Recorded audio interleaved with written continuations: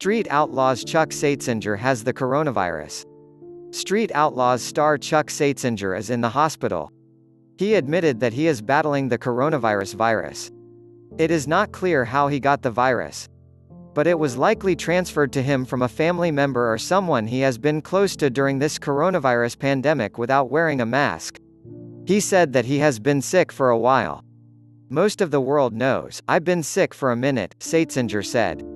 Sat way too long at a green light and got caught. We are battling our asses off over here, I have a super strong family and even stronger friends. I am surrounded by them all, just say a prayer for everyone, not for me but this crazy ass world. It's a tough place.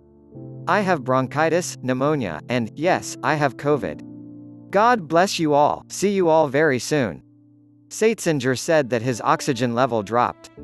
The doctors put him on medicine that he said have saved people's life from the virus.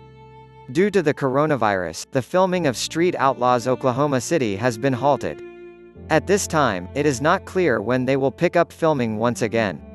They were filming several days before the shutdown took place. I got five or six more days to talk to myself in here, Seitsinger said. You never knew how much you just miss your friends and family until it's all taken away. I've lost 28 pounds in the last few days, so if anything I could do a diet commercial when I get out. I have had 40k text messages. I see you all and thank you, your support is off the charts. I'm overwhelmed trying to get back to everyone. Peace love and chicken grease heart.